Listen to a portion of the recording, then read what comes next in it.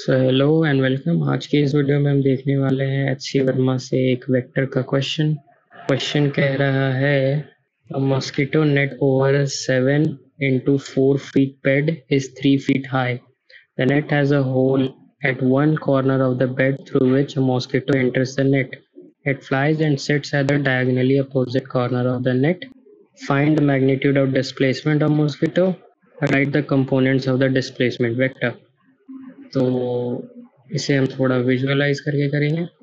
So suppose this is our bed जिसकी dimension दे रखी है हमें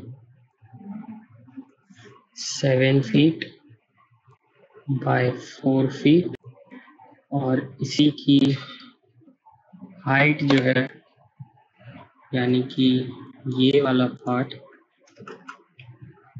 हमें दे रखी है।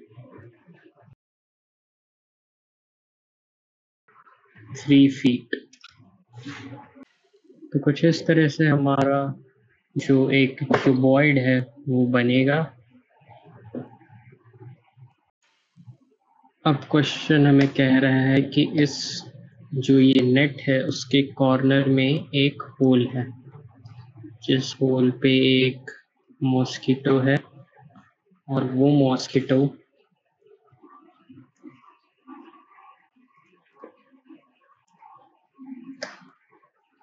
यहाँ से यहाँ तक यानी कि इस कॉर्नर से इस कॉर्नर तक ट्रैवल करता है।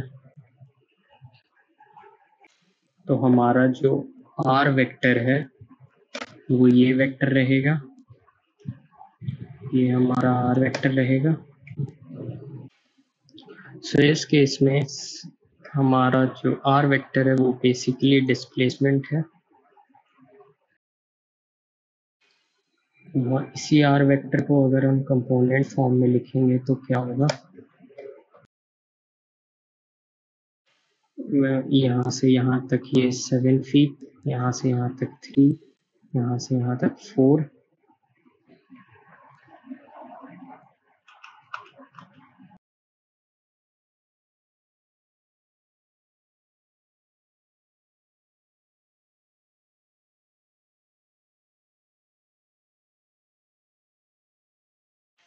सो so, अब हमें पहले क्वेश्चन में इससे पूछा है पूछा गया है आर वेक्टर की मैग्नीट्यूड तो वैसे तो मैग्नीट्यूड निकालने के इस क्वेश्चन के कई सारे तरीके होंगे बट इन दिस केस हम लोग सिंपली इस आर वेक्टर की मैग्नीट्यूड निकाल देंगे जो कि होगा seven square plus four square plus three square जो कि